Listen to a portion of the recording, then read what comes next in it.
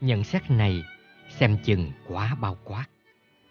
Đã hẳn, thi hứng và thú thưởng thức thơ là đặc tính của người Á Đông và dân cư các xã hội còn nặng về nông nghiệp. Thơ cũng là âm hưởng, giấy gợi sơ khai của bất cứ ai muốn bước vào nghiệp văn chương. Vì thơ chính là hơi thở của muôn loài.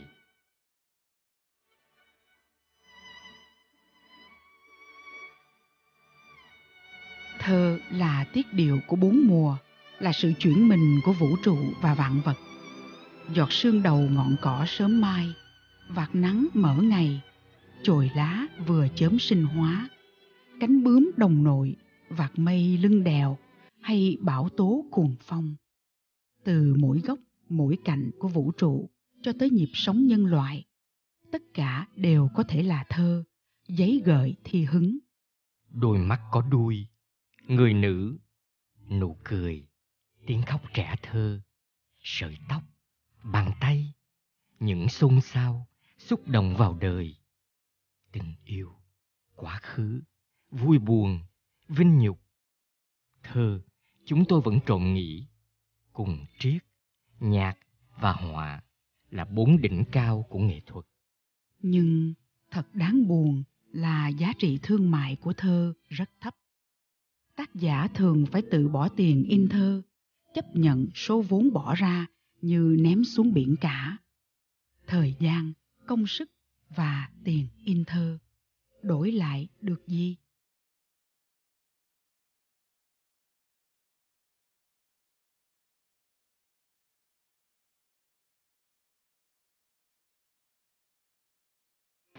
Trọng Nghĩa và Mộng Lan xin kính chào quý khán thính giả đang theo dõi chương trình Bước vào vườn thơ của Việt Nam America TV trên băng tần 57.3.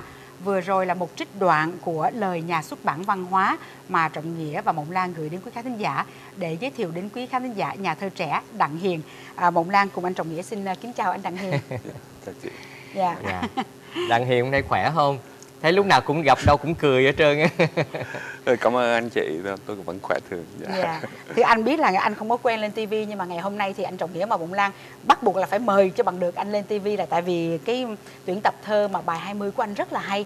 Trước hết tại sao lại anh đặt là bài 20 trong khi trong đây có rất là nhiều những cái bài thơ hay thưa anh? À, cái bài 20 là cái bài chủ đề cho cái tập thơ. Dạ. Thì ờ, thiệt ra tôi cũng ít xuất hiện lên TV lắm. Dạ. À, hôm trước gặp Trọng Nghĩa tôi có đùa tôi chọc Trọng Nghĩa thì Trọng Nghĩa là hỏi số phone. Tôi cứ nghĩ rằng là Trọng Nghĩa hỏi số phone về để la. thì thì về thì Trọng Nghĩa hỏi về thơ muốn phỏng vấn thì thiệt ra nể Trọng Nghĩa quá rồi không có từ chối được Dạ. đó thì thì bây giờ mấy anh chị muốn hỏi cái gì về, về Đấy? Mộng Lan Dạ. thắc mắc đó là thưa với anh đó là trong cái tuyển tập thơ của anh đó à, mà với cái chủ đề là bài 20 đó thì thưa với anh đó là à, 160 mấy trang à, mà toàn là những cái bài thơ hay của anh. À, tại sao anh lại chọn lấy cái cái cái chủ đề là bài 20 mà không là những cái bài thơ khác ở trong này? Nó có một cái gì gắn bó với anh về cái bài 20 này ạ? À, bài 20 là một cái có thể mình có thể mình nghĩ đó là một cái bài thứ 20 nhưng mà nó nó nó nó không có đơn giản như vậy. Dạ. À, cái cái bài 20 là một cái bài mà nó giống như một cái sự tiếc nuối của một cái thời tuổi trẻ. À, con người thì ai cũng có tuổi trẻ hết, cũng qua cái thời 20, 20, 30, 40 thì bạn bè nó hay đùa bây giờ làm bài 50 chưa? thì, thì thiệt ra thì tôi cũng không còn trẻ lắm là thì thì đó là một cái cái cái cái, cái bài bài bài thơ đó thì anh chị à, Đặc biệt là trong cái tập thơ mà khoan đã Mộng Lan ý Mộng Lan hỏi Dạ. anh đó là tại vì đó trong cái cái lời bà bạc của nhà xuất bản văn hóa Dạ. có nói rằng thơ của anh đó nó nó nó nó, nó chứng tỏ hai điều đó là cái sự can đảm và kiên trì quý hiếm ờ, của một nhà thơ để trên cái con đường phục vụ nghệ thuật và thứ nhì nữa là thơ anh đó là tách biệt hẳn khỏi những cái thi sĩ đương thời tạo cho mình một chỗ đứng khó thể phủ nhận và à, nhà xuất bản văn hóa còn viết như thế này là à, người ta không thấy những thổn thức bồi hồi rất Việt Nam của thế hệ trước 1975 cũng không có hờn oán than thân trách phận vì những giấc mộng lớn hoặc nhỏ đã tan tành bọt nước. Mà mà anh lại nói rằng đó là anh tiếc cái thời tuổi trẻ thành ra Mộng Lan chưa đọc được cái cái cái sự tiếc nuối của anh trong cái bài thơ 20 của anh trong cái bài 20 của anh anh Đặng Hiền. À, cái cái tập thơ bài 20 á, cái tập này á, xuất bản năm 1997 dạ. lúc đó anh đã qua bên Hoa Kỳ chưa? Ờ, qua rồi. Dạ. Thì đó là tập thơ thứ hai của tôi. Dạ. À, do nhà xuất bản văn hóa ở Texas. Dạ. Thì thường thường cái thời đó là cái thời nổ rợ ờ, nổ nở nở nở rộ anh lại bắt chước nhà thơ Đặng Phú Phong mà nói lái đấy phải không ạ? Theo nổi hồi nãy ngồi nghe ông nói, thì nói rồi của cái cái cái cái cái nền văn chương của hải ngoại về truyện về thơ về đủ thứ hết. Dạ. Thì cái thời đó thì có nhiều người họ viết về quá khứ đa số mình là viết về quá khứ. Đó. Đến bây giờ vẫn vậy nó mới ít đi thôi. Thì lúc đó thì, thì thì tôi nghĩ sao? Tôi viết vậy thì viết về cái tâm tình thiệt ra thơ là một cái gì đó nó nó nó nó từ từ trái tim mình. Thơ là thơ thơ yêu nước hay là thơ tình cũng là thơ thôi. Nó khác nhau là thơ hay và thơ dở. Dạ. Đó thì thì khi mà thơ vô làm thơ thì cái người mà làm thơ họ thường thường họ đem cái cái cái cái tâm tư của người ta nhất là về thơ tình đó để đánh thức cái cái trái tim của độc giả Ừ. thì tùy theo cái tài năng và tùy theo cái sự mà chân thật mà họ trải ra những cái câu những chữ những bài thơ để mà làm rung cảm được độc giả Dạ. thì thơ nó chỉ dở khi nào mà à, độc giả họ nghe thằng này làm thơ chán quá.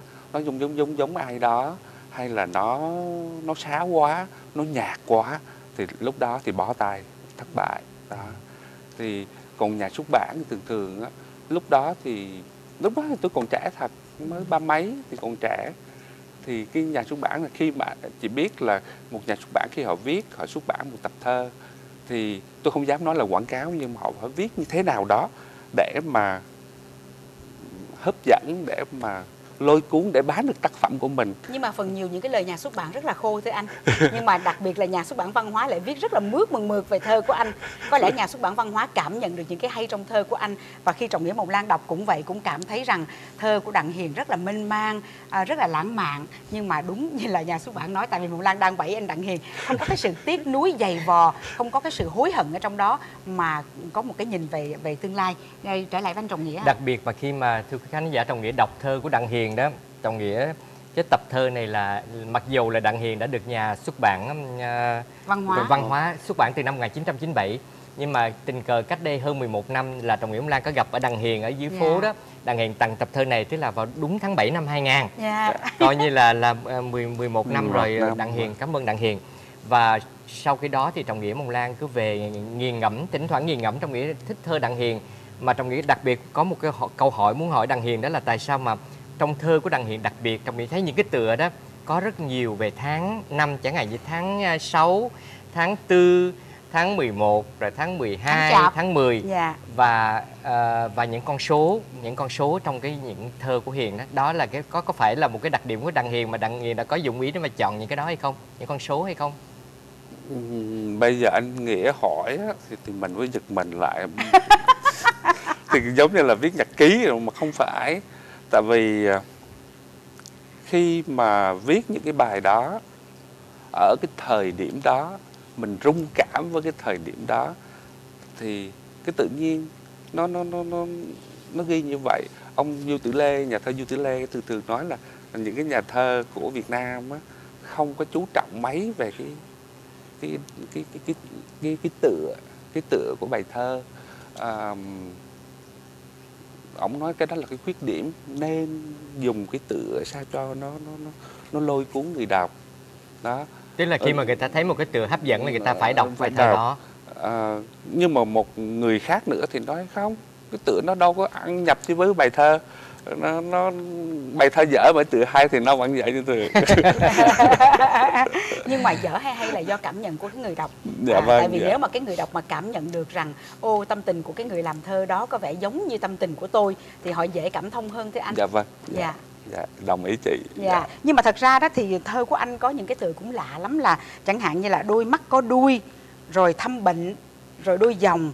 À, tuyệt nhiên thế là nó nó nó đòi hỏi người ta phải đọc sâu vào trong cái bài thơ để xem là anh muốn nói cái gì ở trong đó. Đôi mắt có đuôi thì chắc chắn là anh đang nói về một cái người con gái nào mắt lá râm rồi. Nhưng mà chẳng hạn tuyệt nhiên tuyệt nhiên cái gì mới được chứ? Rồi có một cái bài mà ông Lan đã à, chấm và muốn à, gửi đến quý khán thính giả đó là cái bài nếu biết thế anh không làm thơ. Nhưng mà đọc suốt nguyên cái bài đó thì không hiểu là tại sao mà chàng lại nói là nếu biết thế anh không làm thơ. Anh muốn làm chim anh muốn làm đủ thứ nhưng mà nếu biết thế là biết như thế nào? Biết cái gì thế anh? Trong cái bài thơ này tại vì đọc xuyên suốt trong những cái câu thơ không thấy anh anh Thưa- anh, anh, thưa anh. anh biết cái gì và nếu biết như vậy thì anh đã không làm thơ cái này là làm khó nhà thơ À, trước khi mà tôi lên đây yeah. thì tôi có nói chuyện với bà xã Dạ. nói là anh trọng nghĩa với chị mộng lan đó ờ, có nhà ý muốn phỏng vấn anh mà tới hai người mà anh có một là hai chọn một không? Mà không chụp cũng què đó không ạ? Là là, là anh không biết làm sao là giống tôi đi ra trận vậy đó. Không phải khai thác anh chứ tại vì đọc thơ của anh mà phải hiểu anh càng thích thú hơn nữa. Đó là lý do tại sao mà trọng nghĩa mộng lan à, cộng tác với Việt Nam America TV có cái dịp để mà mời các nhà thơ như anh lên để mà trình bày cái tâm tình của mình khi mà đọc thơ của anh á đặng hiền không biết là không có cái gì lý thú bằng mà một cái bài thơ hay một câu thơ mà cái người mà cái độc giả người độc giả Dạ. không hiểu mà được chính nhà thơ giải thích đó là sướng lắm. Dạ. Tại vì hiểu được tại vì chính nhà thơ nó ô ý của nhà thơ là như như vậy đó. Thành ra khi mình mình hiểu được cái ý nhà thơ đi đâu mình cũng thích thích là nói cho các bạn các người khác mình khoe mình nói ơi, tôi được anh đặng hiền giải thích nghe như vậy như vậy đó. Thành ra rất là cái đó là một cái điều rất là lý thú. À, dạ vâng dạ à, hắn có những cái chuyện mà tôi có một người bạn à, anh đó là nhà văn nhà văn Trần Vũ ảnh có qua buổi nói chuyện với một độc giả ảnh nói về thơ về văn cái khác nhau giữa thơ văn. Ảnh có nói là trong uh, văn trong tiểu thuyết đó cái chính của tiểu thuyết đó là nhân vật. Đó. À, thi sĩ á, thì họ mang cả cái vũ trụ vào cái lòng của người ta. Và khi mà người ta sáng tác á, người ta trải ra người ta nói về cái tôi thì thường thường á, nó khắc nghiệt một cái á, theo tôi á, thì nó khắc nghiệt một cái á. sáng tác là sản phẩm của hư cấu của tưởng tượng. Nhưng mà tất cả mọi người á, những độc giả đa số thì họ phải đòi hỏi nhà thơ là phải thật. Viết cái bài đó là có nghĩa là như vậy thơ sao người vậy? Đó. Giống như văn sao người vậy à, đó. văn sao người vậy thì thì viết một bài thơ tình là phải có một cái tình chỗ kinh khủng lắm. Còn mà nhà văn họ có thể hư cấu không viết cái chuyện người khác. À anh nói Đó. rất đúng. À, nhưng mà nhiều cái nó nó nó như đó thì, thì nó không fair cho mấy người làm thơ. À, nếu mà một bà vợ mà lúc nào mà cũng chăm chăm bà nhìn vô anh viết câu này cho ai vậy? Anh viết câu này cho ai? Cái bài này cho ai? Thì nhà thơ đó coi như là khai tử không có thể Ừ. nào sáng tác được nữa. Đúng rồi. Mà nếu mà sáng tác mà cứ nói dối quanh đó mà nói dối quanh đó rồi cái sửa sửa thơ để cho nó khỏi đụng á. À, đó để giải thích. Rồi thì thành ra cái bài thơ nó không còn cái hồn còn thơ nữa, nữa. Đó. Đúng vậy đúng vậy. Um, nó nó nó nó có nhiều vấn đề ở trong đó lắm thì thì tôi có hồi trước tôi có viết một bài cho bà xã à, hồi mà cái thằng con út thằng bây giờ 9 tuổi thì tôi nói là à, con chúng ta sẽ chào đời vào mùa xuân sẽ thơ hơn thơ đó và um, để mà giữ bình tĩnh em không bao giờ đọc thơ anh Ừ. đó và những cái chuyện chuyện ở trong thơ trong truyện chỉ là à, chuyện của người khác Wow. Cái đó có phải là cái câu nói để tự dối mình hay không khi mà ờ, phu nhân của một nhà thơ mà lại không đọc thơ của chồng mình chỉ vì sợ biết sự thật. À, không biết cái cái cái điều này anh Đặng Hiền nói thì như thế nào Mộng Lan phải khai triển cùng với lại Trọng Nghĩa sau phần thông tin thương mại của các cơ sở bảo trợ cho đài. Trong lúc này thì Trọng Nghĩa Mộng Lan tha hồ hỏi anh Đặng Hiền về cái câu này. Sau đó thì chừng mực sẽ gửi đến quý khán thính giả câu trả lời trong một vài phút nữa đây mời quý vị nhớ đón theo dõi trong chương trình Bước vào vườn thơ.